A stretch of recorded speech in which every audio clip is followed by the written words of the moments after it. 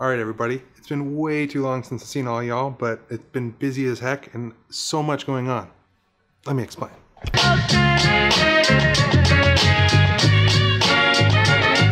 Okay, so one thing I've talked about a lot recently is uh, that you need to have you need to have some fun.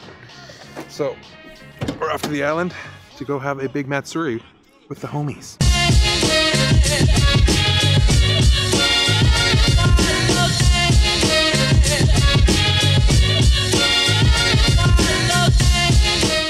Yeah, time's been flying like an absolute beast as of late, and I, I can't believe the summer's almost gone already. Like, what the fuck?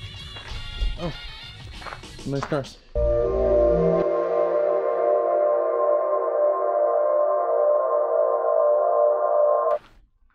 Oh. Oh, hi. Hello.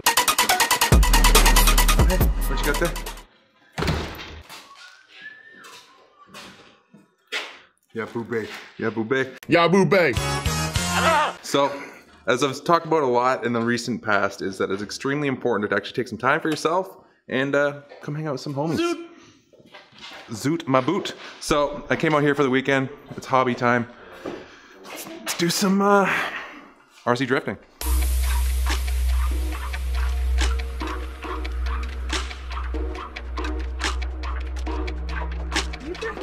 What you said? How do we do this? Car.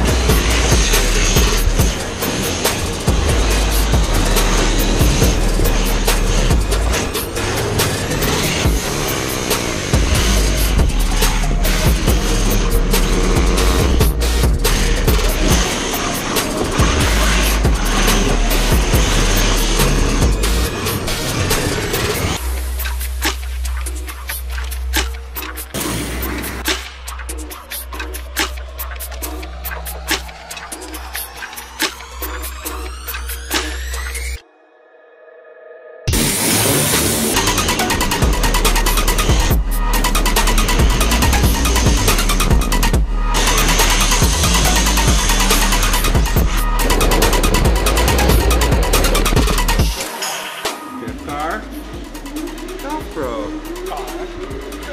Car. GoPro car.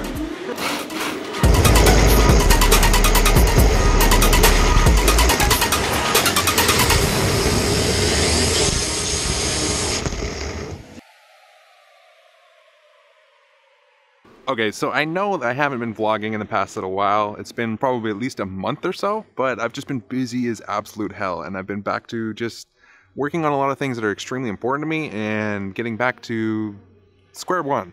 I mean, like I've got Stay True tattooed on my knuckles and essentially that's kind of what I'm doing. I'm getting back to music again, back to my hobbies, back to super important things, and uh, just having as much fun as I can with life. One of my favorite things that I've been living by as of late and for a long time really is the fact that it takes you about 9 to 10 years to master a subject and on average you live about 80 to 90 years. So that means technically within your life you can become a master of 8 to 9 different subjects.